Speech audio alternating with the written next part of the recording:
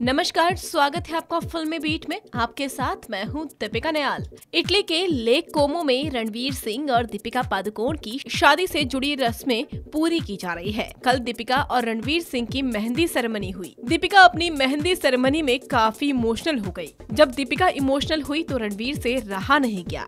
रणवीर सिंह उनका सहारा बनते हुए नज़र आए।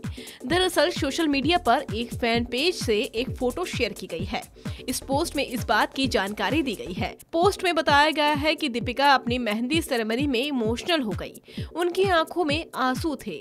उस वक्त रणवीर सिंह ने उनकी हिम्मत बढ़ाई। रणवीर सिंह उनके पास गए और अपनी लेडी लव को टाइट हक किया, जिसके बाद दीपिका ने कुछ इस तरीके से रणवीर सिंह को स्माइल दी। आपको बता दें कि दीपिका जिस वक्त इमोशनल हुई, उस वक्त सुबह मुर्दुला ठुमरी परफॉर्मेंस कर रही थी। बताया जा रहा है कि दोनों की संगीत और मेहंदी फ़ंक्शन में जमकर मस्ती और डांस धमाल हुआ। पार्टी में रणवीर सिंह फुल मूड में थे। उन्होंने दीपिका के लिए फ़िल्म गुंडे का गाना तूने मारी एंट्री गाया। संगीत में मौजूद सभी मेहमानों ने इंडियन आउटफिट पहना था।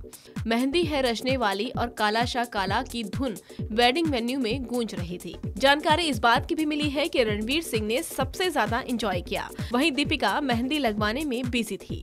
संगीत में रोमांटिक गजलें, पंजाबी और सूफी गाने चलाए गए। रणवीर सिंह ने ढोल पर डांस किया। इतना ही नहीं, रणवीर सिंह ने स्पेशल परफॉर्मेंस भी दी। सिंगर हर्षदीप कौर ने अपने कई हिट गाने गाए। दीपिका और रणवीर की आज और कल इटली के लेक कोमो में रॉयल वेडिंग होने वाली है। इटली में शादी के बाद दीपिका और रणवीर भारत में दो रिसेप्शन भी देंगे। मुंबई में 28 नवंबर को पार्टी होगी, जो कि रात 8 बजे से शुरू होगी। वहीं 21 नवंबर को दीपिका के होम टाउन में पार्टी होगी। बहरहाल, हमारे इस वीडियो में बस इतना ही, लेकिन बाकी वीडियोस के लिए हमारे चैनल को सब्सक्राइब करना ना भूलें।